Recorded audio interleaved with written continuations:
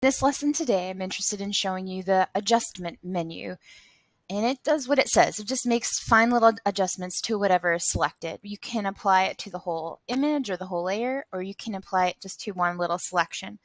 So just for starters, my setup, I have the original image just in case I mess something up on my current layer. I can always trash it and I have my original to restart. It's always a good practice. I also have just the volleyball selected because let's make some changes to just that volleyball. So I have the volleyball selected and so we can mess with the adjustment layer and see some of that. Let me move this over just a little bit. So if I go to adjustment and hit auto pop, check the colors now, and as soon as I hit pop, they are a little bit brighter. And then I'm going to control Z anytime I want to induce. So I took that back. I can go to posterize. Posterize is kind of like making it a little bit more like a cartoon. And you can kind of see it has the shadowing and layer look of the of a cartoon. And I could apply that. I can go to vibrance and I can make it more vibrant or less vibrant. And you can kind of see what it's doing there. So all these adjustments are making fine-tuned little adjustments to this image. So I just did a deselect. So I took off the marching ants around just the volleyball. I'd like to mess with the whole layer now. So I have just this layer selected. So we can look at levels and different things under this. They all work the same way. You kind of test it, but the levels is kind of cool because it all has to do with the lighting in here. So I can adjust an image by if it's a really dark image, if I took a picture and it wasn't well lit, I can almost come in here and change these settings so I can change the lighting of it and make it brighter. Um, if I have an image that is really red, somebody has red in their eyes, if I have an image, this one is you can even see there's a drop off point here. That means there's something with the reds. So if I change this, I'm just going to drag this here and that kind of corrects the red coloring here. Now I can kind of mess with these sliders. It's an eyeball thing till I get this the way I want it to look. And I can mess with the greens in here. There's a problem with the greens, so I'm going to go in here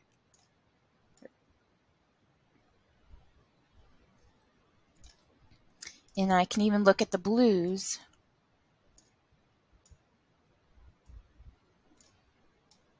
Just to try to make it look as natural as possible. So you can experiment with all of these, these shades. And this is the blacks and whites in the color. Until you get the um, the levels where you want them to be. This is if you really want to fine tune. I'm going to hit cancel. I also want to know there's an auto adjust. So the computer itself, Pixlr itself, takes an I takes um, a quick sample of the image and it tries to adjust it the way it thinks it should be adjusted. There is auto black and white. I can color balance it and that again works with, I can work with midtones, shadows, and highlights. So maybe I just want to work with the shadows and change those a little bit.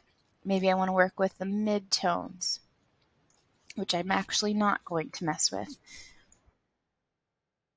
And the highlights could use some adjustment.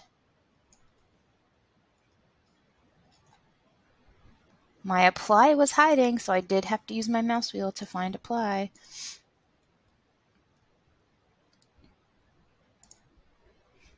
Curves works a little bit differently. So if I'm on the white, this is the whites and blacks, I can take this curve and if I double click, I can drag this till it looks the way I want it to look. I can do the same thing with red. I can double click on the reds and I can make adjustments to the the curves. And that's how you work with curves. So the adjustment layer is a way, or the adjustment menu is a way to kind of adjust different aspects to the coloring of your image.